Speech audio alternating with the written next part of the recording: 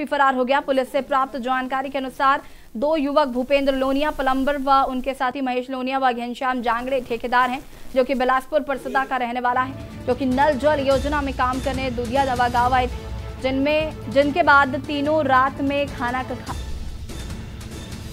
खाना खाया और सोने चले गए। लोनिया की दर्दनाक हत्या कर आरोपी हुए फरार।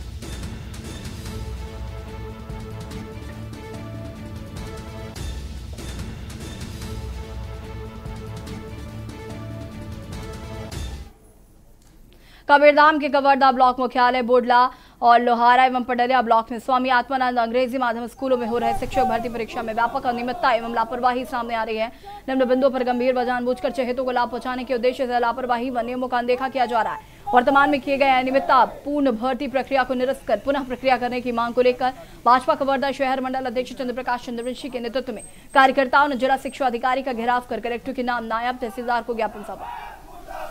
राकेश पांडे मुर्दाबाद मुर्दाबाद मुर्दाबाद मोहम्मद अकबर मुर्दाबाद मुर्दाबाद मुर्दाबाद शिक्षा के दलालों को जूता मारो सालों को शिक्षा के दलालों को जूता कटिया